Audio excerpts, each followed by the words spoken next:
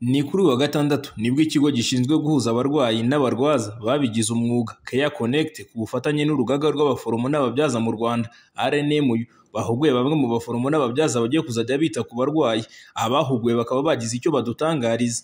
Inyungu rero nk'aba caregiver nk'abantu dutanga iyo serivisi cya mbere cyo ni amafaranga, ni amafaranga kubera ko amafaranga araza iyo wagiye byanze bikunze hari icyo Care Connect ikugenera.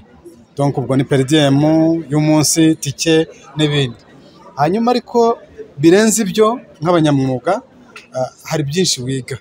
Kubera ko iyo uhura n'abarwayi benshi siritu wari uri mu barwayi ni urugero wari warayizamu cyangwa se wari warayizamu hanyuma uhinduye indi miriye y'uburwayi. Wari ufite abarwayi barembye makumyabiri mirongo itatu ariko ugiye ku murwayi umwe. Uriranwa nawe ugire cya gihe cyo kuganira nawe fete hari kwiga no kuruhuka kandi wahinduye akazi. Murakoze. Ikintu iyi Care Connect izadufasha izadufasha batanga amafaranga. Bumva fayinanshari tuziyongera amafaranga yakiyongera ko abakenewe mu buzima bwa buri munsi ushobora kuyifashisha akaza yiyongera ku mushahara wafataga. Ikindi uba ugiye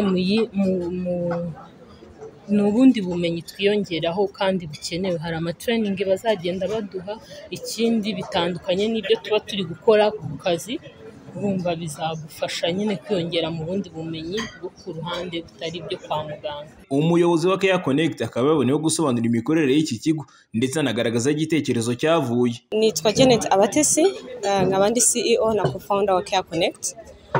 Care Connect ni ikigo kigamije guhuza abarwayi n'abarwaza babigize umwuga. Dukoresha abarwaza bafite background ya nursing tukaba dufitanye partnership cyangwa ubufatanye hamwe na Rwanda Nurses and Midwife Union badufasha kugira ngo bakore iyo process yo kumenya ngo uyu munansi se yaba ari umunansi koko afite license afite background nziza. Hanyuma iyo baduhaye abo banansi tubashyira kuri platform zacu dukoresha ikoranabuhanga tugira mobile application tukagira na web app. Ariko hari na designated number iyo umuntu atabasha gukoresha iryo koranabuhanga ahamagara aho yashaka serivisi zacu. Ku bantu bakoresha mobile application ujya kuri platform ukabasha kubona urutonde rw'abanansi. Hariho amafoto ya passport hariho profile zabo hariho n'aho baherereye. Icyo gihe bigufasha kumenya ngo niba wenda uri mu rugo ushaka umunasi ukwegereye usacinga ukoresheje location ukamenya uri hafi yawe. Hanyuma ku bijyanye na experience na byo ushobora gusacinga ukurikije profile cyangwa n'uko bamukoresheje mbere bamukomentinzeho ikintu twahereyeho dukora Care Connect byaturutse kubera need yagiye iboneka. Personally nka founder nagize experience y'aho nari nyine umuntu uri professional wamfasha igihe nari mfite umuntu wanjye arwaye. Ariko sinagira amahirwe yo kubona professional caregiving services mu Rwanda. Nashoboye kubona abantu benshi bandikomendingaga ariko atari professionals. So ndiyarayizinga ko ari need ikenewe mu Rwanda ari na yo mpamvu twatangiye. Tugenda tugirana na partnership n'ibigo bitandukanye harimo Westaway ikigo cy'abadage gifasha startup kugira ngo dutange serivisi inoze badufasha kubyurudinga umushinga wacu. Ku bantu bakoresha version ya android ujya muri play store ukandikamo care ugasiga umwanya connect ubona icon ya care connect ni ikiganza kiriho umutima ukacyopeninga hanyuma ukabona install nk'ibisanzwe uko storing application. Iyo umaze kugeramo tubanza kukwereka urutonde rw'abanansi bahari. Hanyuma wabona wamara kubona uwo ushaka iyo umukanzeho bagusaba gukoresha email. Iyo utagira email ushobora kuyikireya ufite option yo kuyikiriyetinga ariko iyo usanzwe uyifite ushobora gukoresha google email. Iyo winjiyemo rero uba ubasha kuba wa munasi wakanzeho ubona profile ye kwa kundi nabasobanuriraga hanyuma ukabona plans cyangwa serivisi ugiye gufata. For example niba ushaka gufata home care ukareba muri home care niba ari umunsi niba ari icyumweru niba ari ukwezi pricing iba ari imwe ariko ku bantu b'igihe kirekire hagenda habaho ama discount so bitewe na plan ufashe bahita bakwereka ifoto y'umuntu wahisemo bakakwereka detaye ya serivisi ufashe uhisemo n'amafaranga ugiye kwishyura. Icyo gihe uhita ubona n'uburyo butatu butandukanye wakwishyuramo mobile money na visa card uh, na mastercard. Then ugacuzinga iyo ushaka gukoresha ukishyura uciye muri application.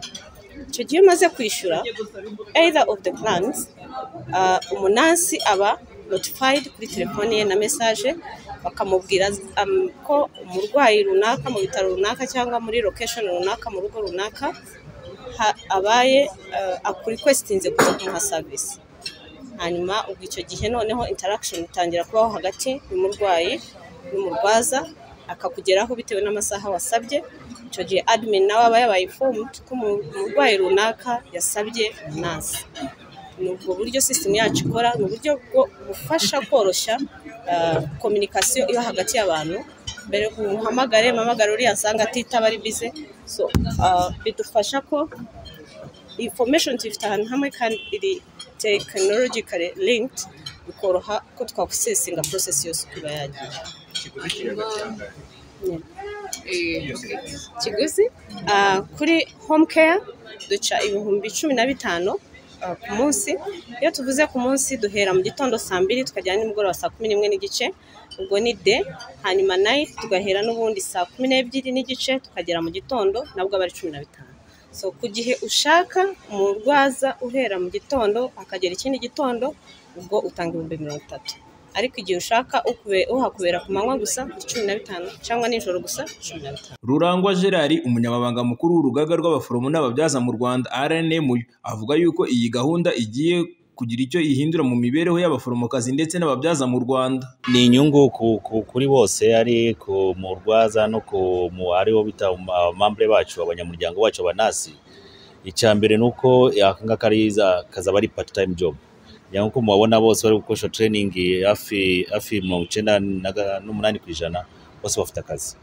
So ni uburyo bwa part time job nk'uko mwabibonye bari kubigisha harimo platform kwa kundi umunasi azaba yaruhutse yenda afite akaruhuko eh, mu cyumweru cyangwa amasaha ni bwo azaza azaza yerekana muri platform avuga ati kuwa kabiri ntabwo nzaba nkora cyangwa ku cyumweru ndi libre none noneho ni uko ko wa, wa, mu- wa, mu- wa mukiriya cyangwa wa mukiriya ufite umu- umurwayi wa- urwariye mu bitaro cyangwa mu rugo azaza areba umunasi uri available cyangwa uri kuboneka ko bizaba bigaragara muri platform yabo ku, rubuga then yabone ku, ku, kumusaba aze amwiteho. Eh, ku ku bana- ku banasi bacu ni urumva ko bazazana care connect zaza bahemba zaza bahembera ibyo wakoze zaza bahembera ari ku munsi cyangwa mu kwezi bitewe n'igihe azaba yak- yakoze iyo service.